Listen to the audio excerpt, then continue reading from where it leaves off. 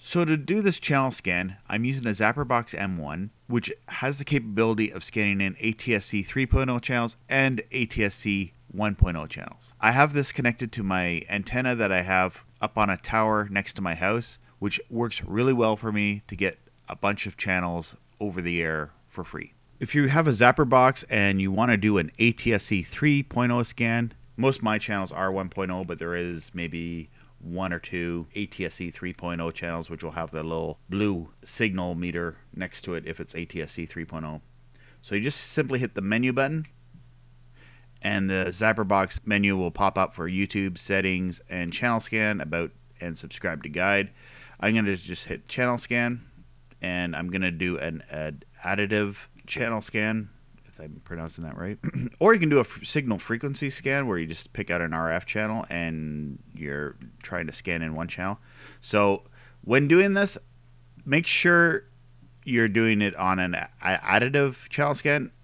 You can do a full channel scan, but what will happen is it will wipe out all the other channels. But if you want to keep your channels and you've moved your antenna and you want to pick up a few other channels and just be able to move your antenna so you can get different channels, additive channel scan option to save your channels because you'll lose your channels if you do the full channel scan. We'll click on that and there it goes. Now you can already see the channels that have already scanned in and it's going to just go through all the channels that are available in my area. In my area there is quite a lot of channels. I can pick up close to 68 channels although that is a clear day when when I can pick up 68 channels. And the cool thing with this is if you do this, it will give you a SNR and a signal quality um, reading as well. So this is kind of handy if you're moving your antenna and you want to have it in the best optimum spot to get multiple channels. Um, doing this and maybe taking a screenshot or taking a picture of this, uh, this these signal readings is a good reference to uh, setting your antenna in the optimum position to get all your channels from around your area. I'm not sure if I'll pick up all the channels I was that I was able to scan in because my antenna is in a different position. And I think I was a clearer day the other day when I did do this channel scan. So, but it's always fun to do this because with ATSC 3.0 launching more channels, and I do believe they might be more ATSC 3.0 channels launching in my area. So I'll be scanning in to see if there's anything new and exciting in the future to come. Oh, this one might not come in because the antenna is not in the optimum position. Well, no, I picked it up. It's pretty decent quality. And I bet you won't find that channel 8 because that was like a really good Tropo day where I was able to pick up channel 8 and some sub channels. And I didn't pick up 45, which is NBC, and that's just simply because it's a weaker power station, so I do have to have my antenna optimally aimed at that. And I'd probably want to aim my antenna back at that channel because that actually has MeTV, uh, it has Grit, and um, a bunch of other channels, NBC.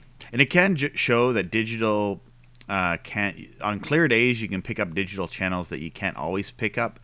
In my situation for um, RF channel 21 and RF channel uh, 28, I couldn't pick up anything because usually those it has to be a really clear day for those channels to come in.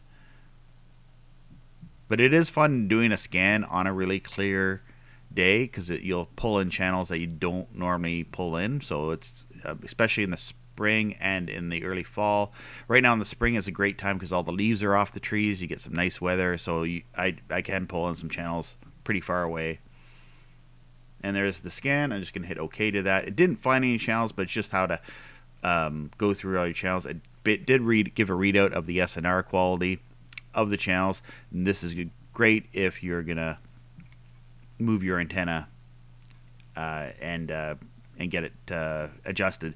Check out my uh, previous videos where I've done a full breakdown of the ZapperBox. I'll have a playlist as well, so you can go through all the ZapperBox videos that I've made covering this.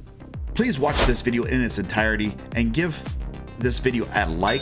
If you haven't already, please subscribe and share this content with, on your social media with all your friends.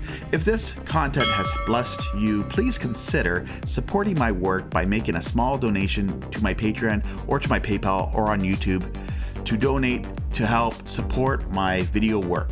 If you're looking for a Zapperbox, check out their website at zapperbox.com.